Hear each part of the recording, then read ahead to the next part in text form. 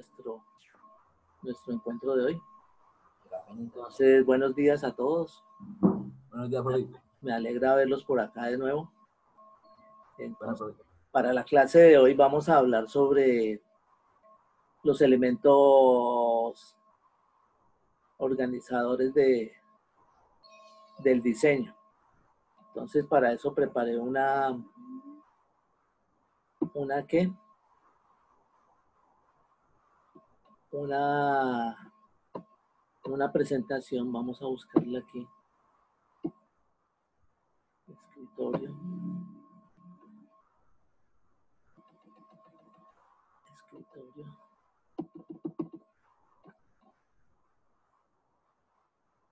Y vamos a hablar un poco de eso. Y ahora no. Aquí está. ITI 2020, grado décimo. Entonces, diseño está. Bueno. Ahora sí le voy a dar compartir pantalla. Entonces, compartir pantalla. Aquí está. Pues la idea es tratar de mejorar cada semana más lo que estamos haciendo. Entonces, vamos aquí. Gerson García. García García, Gerson Andrés. Él no se conectó la vez pasada, pero bueno, ya llegó aquí. Entonces, mm, listo, vamos aquí a hablar entonces lo de, lo de hoy. Me imagino que están viendo la pantalla ya. Sí, señor. Ah, bueno. Señor. Tenemos la, el titular de que siempre le hago. Eh, semana de lunes primero a viernes 5 de junio. Dice la, virtualidad de componente del diseño. Estudio de casos. Evaluación. Esto es lo que les quería comentar de unas de las cosas que se trataron en la reunión ayer de, en la reunión de del Consejo Académico. Entonces, porque la verdad creo no se puede calificar las cosas como se, se, venían pensando con unas notas y eso. Entonces la idea es que se van a armar tres columnas. Entonces hay estudiantes que nunca se presentaron, ¿sí? Entonces en esa columna me imagino que irá un chulo, ¿sí? Otros estudiantes que se presentaron pero de pronto no presentaron trabajos o estuvieron pendientes, pero, ¿sí? pero no hicieron nada, entonces sería como una segunda columna que sería en proceso, ¿sí? que quedaría pendiente cuando vuelva al, encuentro físico, entonces se organizaría cómo se mejorarían esas notas. Y la otra columna es de los estudiantes que, pues, que han cumplido y de todas maneras han hecho sus... Este David Santiago, ¿cuál será el apellido de David Santiago? Ah, Alvarado. Él no estuvo hace ocho días. Entonces, la, la, otra es de las personas que sí han estado pendientes y han hecho los trabajos. Entonces, esa es como, como una propuesta que hay de la manera en que se va a calificar. Se va a calificar esto. Me perdió la flechita. Aquí. Hoy. Aquí está. Entonces, principios ordenadores. Hoy estamos a junio 4. ¿sí? Entonces, pues la idea es que yo tengo aquí colocado como el horario que nosotros utilizamos en el colegio, como para tenerlo de relación y ojalá pues nos podamos reunir siempre los jueves a, por lo menos a esta hora, ¿sí? Entonces, ¿qué elementos existen para ordenar un diseño arquitectónico? ¿sí? Entonces, vamos a ver aquí. Vamos a leer esto, principios ordenadores. Un principio es la base, el punto, fundamento, origen o razón fundamental. Chequemos esto aquí un poquito también llamados ideas generatrices, son los conceptos de los que se vale el diseñador para influir o conformar un diseño. Entonces, vamos a, de todas maneras, como la, eh, como la clase se, se graba, yo les comparto el link para que puedan estudiar y repasar las cosas. Las ideas o principios ofrecen vías para organizar las decisiones, para ordenar y generar de un modo consciente una forma. Es decir, se pueden considerar como artificios visuales que permiten la coexistencia de varias formas y espacios, tanto perceptiva como conceptual dentro de un todo ordenado y unificado. Nosotros aquí en el principio, nuestros ejercicios que estamos haciendo son básicamente el manejo de la, de la forma. Ya eh, después de que salgamos de todo esto, vamos a empezar con la función y ver cómo funcionan los, eh, el, cómo funciona el, el, diseño. Bueno, aquí llegó el joven Kuburuko. Listo. Sigamos. Aquí, entonces démosle a la siguiente. Ah, bueno, esta la había dejado en blanco porque es que resulta que hay un poco, hay un libro básico para el estudio del diseño y yo lo pedí, está en la biblioteca del, en la biblioteca del colegio que se llama Arquitectura, Forma, Espacio y Orden. ¿Sí? De todas maneras, ahorita vamos a ver algunas cosas. Hay muchísimas eh, conceptos de, para el manejo de los, de los elementos ordenadores. Entonces, hay una cosa importante que lo ya lo hemos hecho de manera práctica en los trabajos que, realizamos, que es la adición y sustracción cuando nosotros trabajamos con el cubo, ¿sí? Entonces aquí dice adición y sustracción, eso yo lo considero igual que las relaciones de las matemáticas Entonces dice adición es el proceso de anexar o agregar y segregar formas construidas para crear una arquitectura o composición. Al utilizar la adición se percibe la composición como una agregación de unidades o partes identificables. Al contrario de la sustracción, se puede conceptualizar como el dominio del conjunto según el cual un observador capta la composición como un todo identificable del que se ha extraído algunas partes. Entonces, como veíamos en el ejercicio que hicimos la otra vez en el cubo, pues le habíamos hecho un poco de sustracciones y eso. Sigamos acá. Enter. Bueno, este concepto de armonía yo lo dejé, pero no es tan no es tan fuerte como otros, pero leámoslo, en la perfecta proporción, entonces, cuando uno hace un diseño, entonces uno mira que le guste, entonces que vea como las cosas de una manera armónica. Entonces, de todas maneras, yo lo dejo aquí porque queda grabado. El carácter, ese también es una, no, no lo considero en este momento tan importante porque es como la parte del, del símbolo, del, significado de las cosas. Entonces, sigamos con este. Claridad, bueno, que tenga uno más o menos eh, como cierta asertividad y claridad en el, en, el, en el diseño. Eje, este sí es importante. Entonces resulta que dice, es el elemento más elemental para organizar más o menos regularmente formas y espacios arquitectónicos. Es una línea que puede ser imaginaria e invisible, que implica simetría, pero exige equilibrio. Al eje se le pueden colocar límites para reforzar la noción y estos límites pueden ser alineación de una planta, alineación de una planta o planos verticales que ayuden a definir un espacio lineal que coincida con el eje. Entonces el eje es súper importante en todo lo que nosotros hacemos porque cuando ya vayamos a hacer planos de, para construir y todo eso, los ejes son los que nos marcan el trazado en el lote. Entonces, cuando de pronto ustedes pasan y ven que están, van a construir algo y, clavan unos palitos en el lote y eh, son unas estacas y empiezan a trazar con los hilos, esos son los ejes, pero asimismo en el diseño, en el dibujo, nosotros también lo, lo utilizamos como elemento eh, ordenador del, ¿sí? Bueno, el equilibrio. Se me olvidó haber escrito toda la carreta del equilibrio. ¿Sí? Entonces, el equilibrio es casi un poco parecido a la armonía, que uno vea las cosas como organizadas. Entonces, hay un equilibrio radial, que es cuando las cosas tienen como un centro parecido a lo de organizaciones espaciales. Axial, que es cuando está cuando está por todo el eje de la... Uy, se me, adelantó esto. Cuando está axial es cuando va por todo el eje central, ¿sí? Por todo el, eje del objeto que estemos diseñando. Y hay otro que es el equilibrio oculto, que es cuando uno hace un diseño y... Perdón.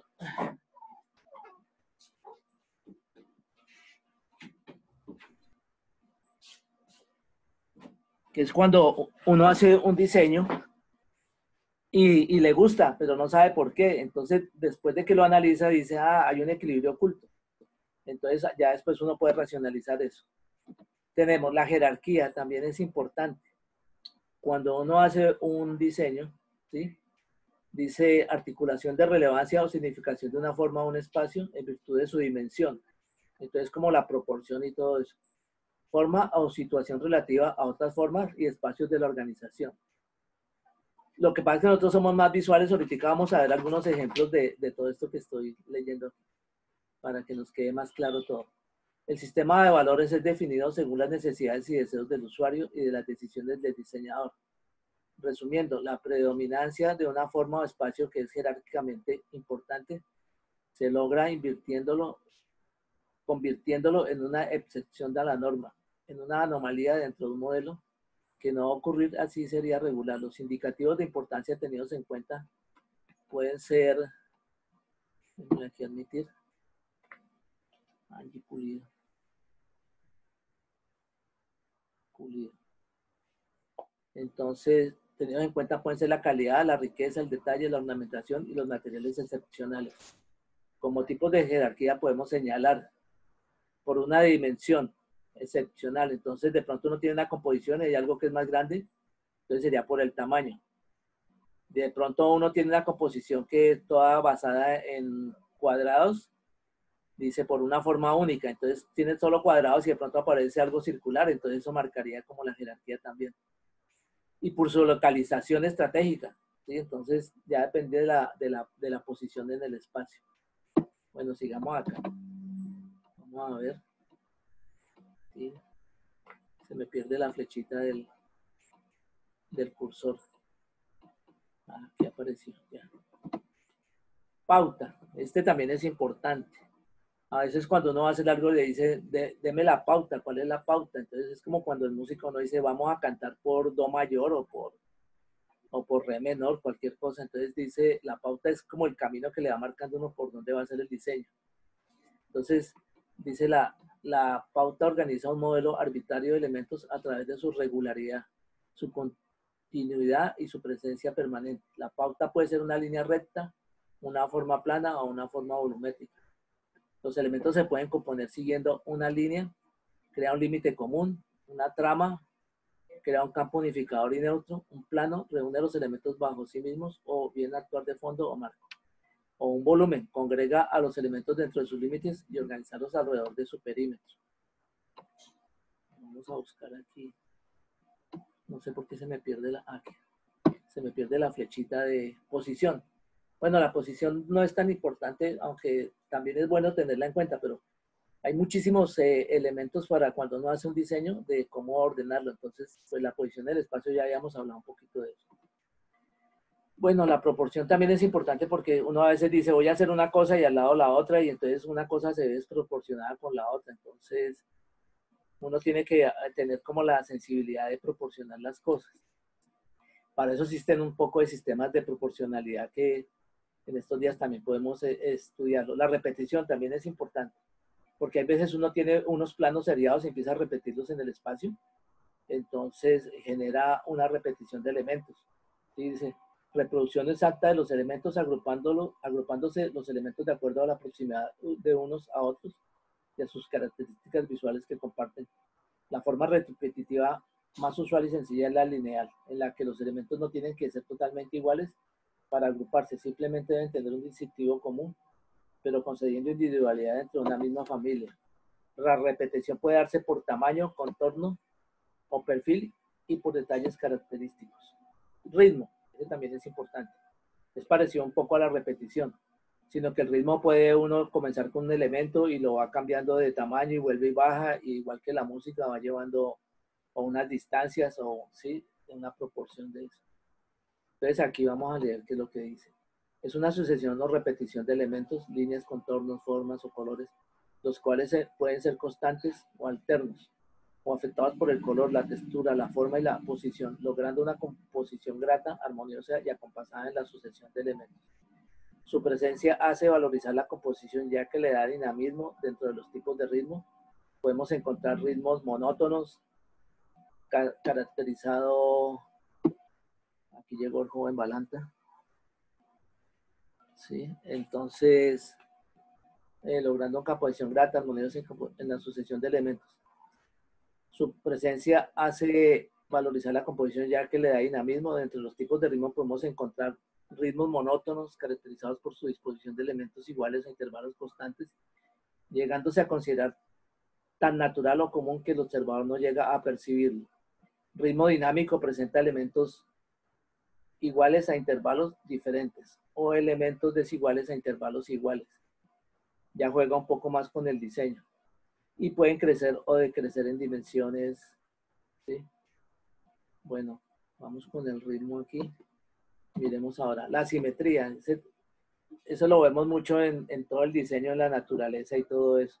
Cuando uno ve una mariposa y le traza un eje por toda la mitad y una ala es igual a la otra. Entonces, dice una distribución adecuada y equilibrada de formas y espacios alrededor de una línea llamado eje o de un punto o centro común. Lo general es el equilibrio, la simetría viene a ser una forma específica de equilibrio, tipos de simetría, simetría bilateral, distribución equilibrada de elementos iguales alrededor de un eje, simetría central, ¿sí? Y bueno, entonces básicamente la parte de simetría sería esa. Transformación, pues no voy a leer, les voy a contar por encima. Transformación es que de pronto, digamos, hablemos de los cubos, y entonces yo tengo una serie de cubos y de pronto a un cubo le voy haciendo transformación, le puedo quitar una diagonal. Casi lo que hicimos en el último ejercicio del cubo donde sacamos esas diagonales y siempre era un diseño bien interesante. Eso fue una transformación del cubo. Entonces aquí tengo algunos enlaces. De pronto podríamos ver una presentación en Prezi que nos muestra algunos ejemplos, aunque tiene mucha carreta, tiene muchas cosas escritas. Entonces, Miremos eh, el libro que yo les decía que está en el, en el colegio, es este que dice Francis Chin. Me dicen ahorita si se comparte lo que estamos viendo porque, porque qué, entonces, la vez pasada un compañero de usted decía que era que copiara el enlace y lo pusiera en el navegador. Pero no importa, vamos a meternos allá al que de, démosle aquí dejar de compartir. Y entonces, uy, tenemos hartas personas aquí, aquí mirándonos. Entonces aquí voy a meterme aquí a internet. Aquí en esta. Aquí entonces vamos a, a buscar elementos ordenadores del diseño. ¿Sí? Entonces, vamos a, ahora sí le voy a dar compartir pantalla otra vez. Vamos a ver aquí, compartir pantalla en este. Vamos aquí, compartir pantalla. Entonces, aquí, elementos ordenadores del diseño. Compartir. A mí las presentaciones en Prezi me gustan porque son más agradables, ¿sí? Entonces aquí tenemos una, vamos a verla, sino que tiene bastante, son más dinámicas esas presentaciones, ¿sí? Entonces aquí encontré, esta presentación es la presentación básica que, que encuentra uno en el libro de Chin, ¿sí? Entonces, ya están viendo la pantalla, ¿no es cierto? sí, profe. Entonces, ¿ustedes han hecho, han trabajado Prezi? ¿Alguno ha hecho presentaciones en Prezi? No, ¿No? No, yo no las he hecho, pero sí las he visto. Sí, entonces resulta, eh, la cuestión es que es agradable porque es como más dinámico, casi uno siempre hace todo en PowerPoint. Entonces resulta que en Prezi el problema es que uno tiene que estar siempre conectado a Internet. Entonces vamos a empezar aquí con la presentación de esto. Entonces aquí dice simetría y asimetría. Entonces aquí dice simetría. Entonces aquí si trazamos una línea de color rojo por la mitad de la mariposa, las dos mitades son simétricas, es decir, a la vez las dos mitades tienen las mismas medidas. aquí lo podemos ver, la simetría. Aquí dice asimetría dice cuando, la, cuando uno, aquí arriba hay un ejemplo, cuando uno llega y manda la línea por la mitad, lo divide y una parte no es igual a la otra. en la arquitectura, eh, digamos, tradicional y clásica se utiliza mucho la simetría. Hoy en día la arquitectura como tiende más como al manejo de la forma y a las cosas extrañas es más asimétrica. Miremos aquí, aquí la siguiente. Entonces simetría y asimetría. Bueno, vamos a ver si aquí, aquí, uy, esto que, Ah, me parece que me adelanté uno.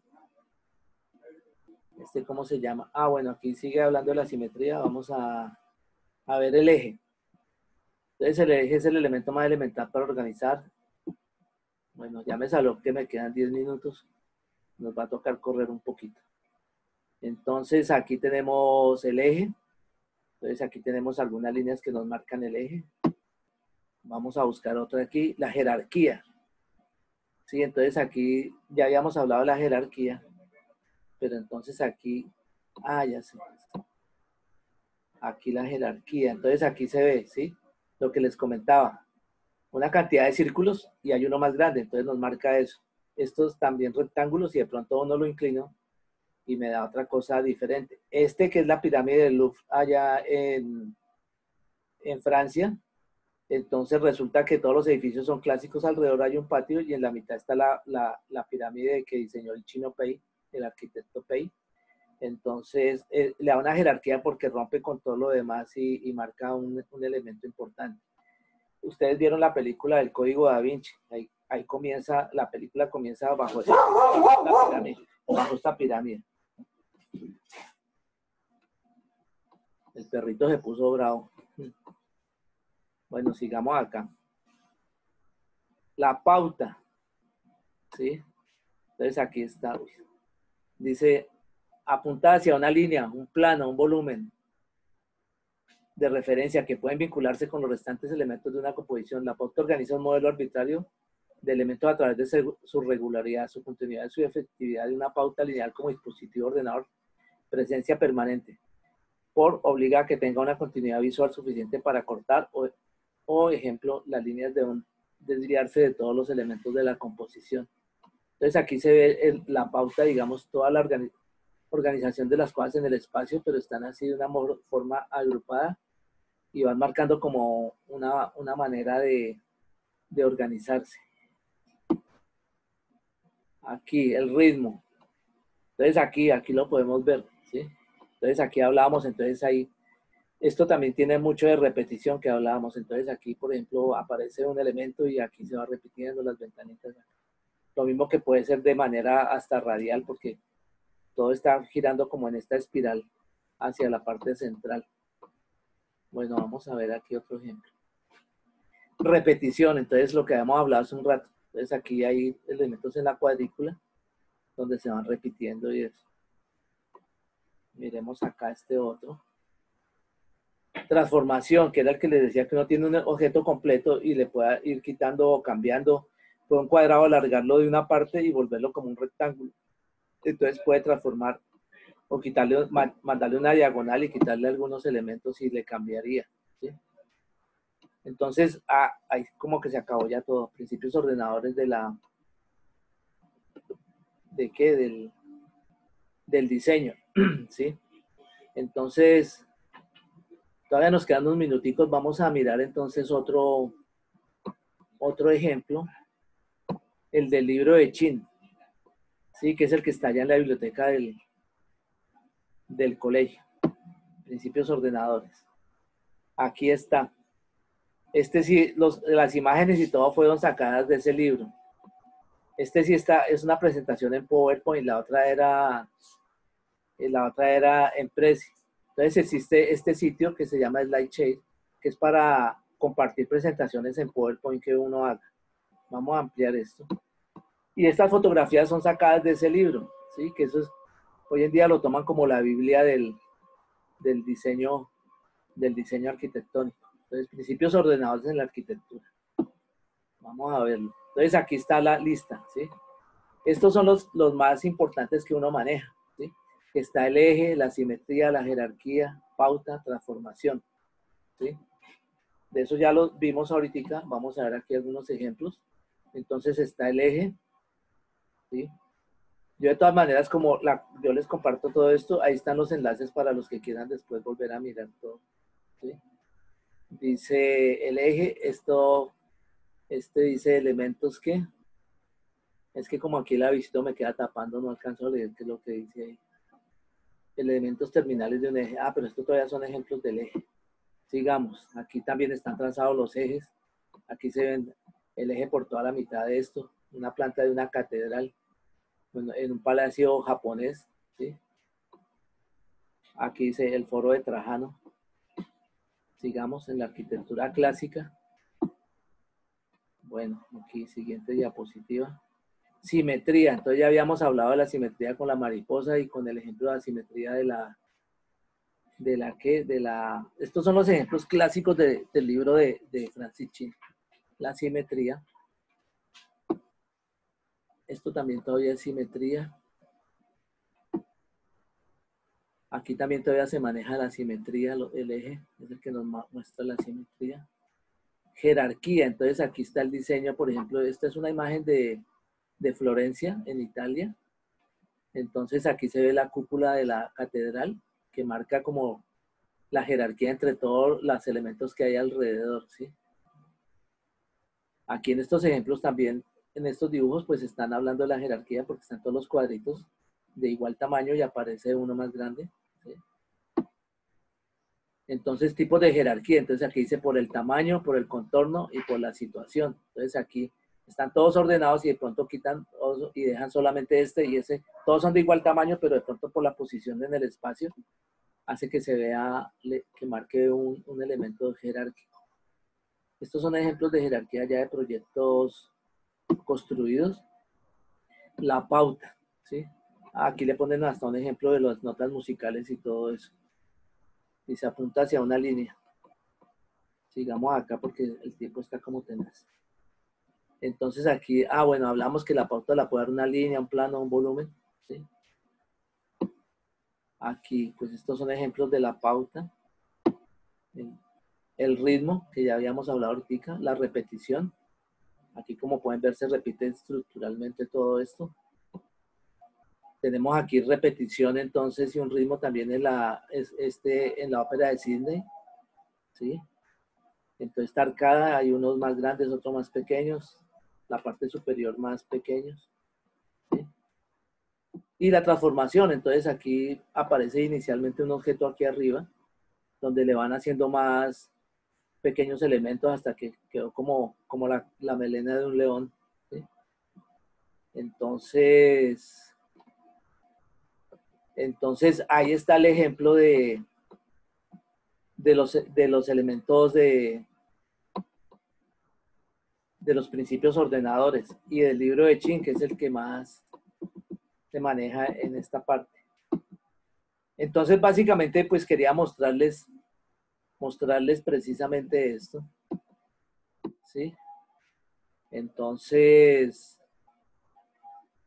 eh, eso era lo que quería mostrarles para el día de hoy. No les voy a colocar un trabajo porque todavía queda pendiente el trabajo de, que tenemos de la semana pasada de las organizaciones espaciales, sino que ya nos quedan dos minutos de tiempo, entonces, pues vamos a dejar ahí y nos volvemos a reunir la otra semana.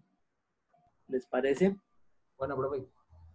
Sí, Bueno, sí, profe. profe. Entonces me alegra, eh, me alegra verlos y estamos en la jugada y yo les envío el link para que puedan repasarla a los que llegaron más tarde y todo eso, puedan repasar, ¿sí? Kevin Kuburuco creo que quería comentar algo, que levantó la mano. No, profe, no, yo no sé en qué ley que se levantó eso. Ah, es que me está saludando. Muchas gracias, Kevin. Ah, profe. Bueno, entonces hay que ponerle alegría a las cosas, ¿sí? Hay que, profe, eso. Bueno, entonces me alegra verlos y un abrazo para todos. Bueno. Chao, profe, igual. No, profe. Bueno, Chao, profe. bueno, Chao. muchas gracias. Chao, que estén bien.